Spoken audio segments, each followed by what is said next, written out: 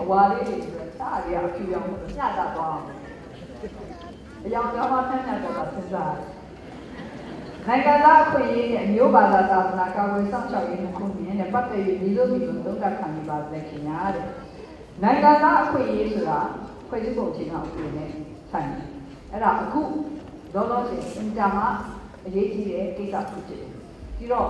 နိုင်ငံသားတိုင်းနိုင်ငံသားတိုင်းနိုင်ငံသူနိုင်ငံသားအားလုံးဟာဖွဲ့စည်းပုံအခြေခံဥပဒေကပေးထားတဲ့အခွင့်အရေးအားလုံးကိုအပြည့်အဝရရှိရမယ်အမျိုးဘာသာသာသနာကွာဆိုစောင့်ရှောက်ရေးဆိုတာလေဒီ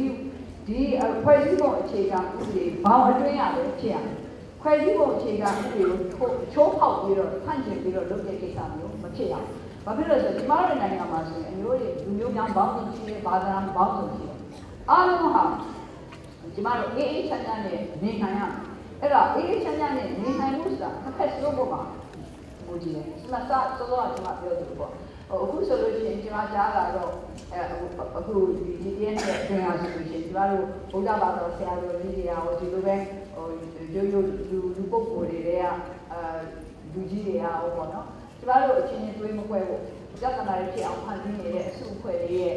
လက်ထဲကိုမရောက်တော့ဘူးသူတို့ထောင်နဲ့ထောင်ကြလို့မဝင်သွားဖို့ဆိုပြီးတော့သတိပေးနေတာတွေရှိတယ်ဆိုတော့ကျမတို့ကြားတာအဲ့လိုသတိပေးတာတွေလည်းကောင်းပါတယ်ဒါတွေကျမတို့နှလုံးသွင်းဖို့လိုတယ်ကျမတို့ဟာအဲဒီခွဲကွာချားရေးမုံကြီးရေးပေါ့နော်ခွဲခြားရေးကိုဥတည်တဲ့ဘက်ကိုမလိုက်သွားပါနဲ့ အားလုံးဟာစုစည်းရေးတယောက်နဲ့တယောက်နားလည်မှုပေးရေး